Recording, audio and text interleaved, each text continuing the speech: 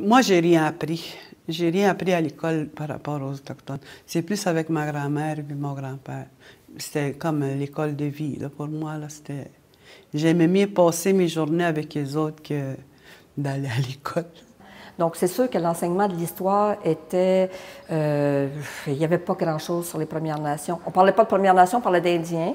L'idée de nomade et sédentaire, peut-être, parce que ça, ça me, ça, à chaque fois quand je vais dans les classes, ça me, ça me surprend. C'est assez réductif, là. C'est plus complexe que ça. D'abord, les Abénakis étaient semi-nomades. Ce que j'ai appris, c'est beaucoup, il y a les alliés des Français, puis il y a les ennemis des Français, les, les, les bons... Euh, les bons Indiens puis les mauvais Indiens. Les, les, Indiens à l'époque n'avaient pas grand valeur, dans le fond, et qu'on était seulement des supports des colonisateurs. Donc, on était soit des alliés ou soit des ennemis c'est chronologique, mais ça se base sur des événements, des hommes ou des hauts faits euh, canadiens-français. Puis en dehors de la communauté, ce qu'on présentait, c'est l'histoire de la colonisation.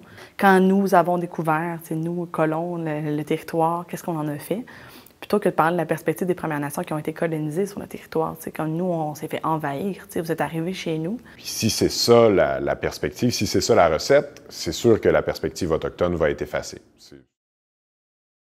La nouvelle façon, c'est de passer à la perspective autochtone, d'enseigner l'histoire, décoloniser l'histoire. Chez les Abénakis, par exemple, quand on parle d'histoire, ben, on parle peu du rôle que les Abénakis ont eu avec les Français, le rapport avec les Français, parce que si on, va plus loin, les, missionnaires ont écrit qu'on était les anges gardiens des Français. C'est peu dire. Si on part, par exemple, on veut faire l'histoire de la rivière Saint-François, on peut partir du toponyme. Qu'est-ce que ça veut dire, la rivière Saint-François? Comment ça se dit en, langue abénakise? Vers où cette rivière-là nous mène? Après ça, on peut, on peut monter avec les seigneuries qui sont, qui sont, euh, qui sont installées sur la rivière. Puis j'ai trouvé ça dommage aussi de ne pas avoir toute la notion des alliances, des traités, des relations qu'on avait entre nous avant que ça, on en soit rendu aujourd'hui ou on en est rendu. C'est sûr que si on veut aborder la loi sur les Indiens, c'est de commencer par peut-être lire certains articles ensemble. Des articles qui sont toujours en vigueur puis qui peuvent être encore choquants, notamment l'administration de l'argent des Indiens, les réserves, qu'est-ce qui est aussi la gestion des testaments. Des articles sont encore en vigueur aujourd'hui qui sont très choquants parce que sont très, très...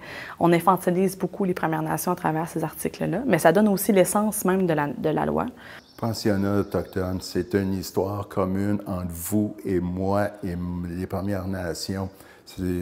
Tant d'un côté que de l'autre, mais cette histoire-là doit être entendue. Cette histoire-là doit être entendue tant du côté canadien que du côté autochtone. On adresse les, conséquences des pensionnats, puis on va de l'avant tous ensemble. Pourquoi pas laisser les Premières Nations raconter leur histoire, leur point de vue, puis après ça, on trouvera une façon d'imbriquer ça tout ensemble. Mais tu sais, vous avez eu votre parole, vous, nous racontez votre histoire, nous, on l'apprend depuis qu'on est tout jeune à l'école, bien, c'est à votre tour d'apprendre aussi la nôtre. C'est sûr qu'une grosse partie de notre transmission se fait par tradition orale. C'est sûr que je peux pas, on peut pas nier ça. Puis encore beaucoup de rites, puis culture, puis cérémonies, par exemple, culturelles, qui aujourd'hui on pourrait pas pratiquer si c'était pas de la tradition orale. Euh, ben, la tradition orale, c'est, je pense que c'est quelque chose qui est encore vivant et qui, puis qui est mal connu. Parce qu'on pense que la tradition orale, c'est une histoire qu'on raconte et puis que c'est comme le jeu du téléphone, en fait. Alors que c'est pas ça du tout. Quand on raconte une histoire, on la raconte de façon sincère, puis on s'assure que la personne qui va l'écouter, qui va l'entendre, va la comprendre et va la rapporter à son tour. Euh, j'aborderai beaucoup la tradition orale, beaucoup les, récits oraux. Il y a beaucoup de récits qui existent, par exemple des récits de chasseurs ou euh, euh, sinon des récits traditionnels, puis essayer de voir ok comme, comment ça nous renseigne sur la cosmologie autochtone, comment ça, ça nous renseigne sur les perspectives historiques lors de la rencontre. De plus en plus, la tradition orale est utilisée comme source. J'ai même vu au niveau de la, de la Cour suprême, on utilise maintenant la tradition orale comme étant une vraie source d'information. C'est génial.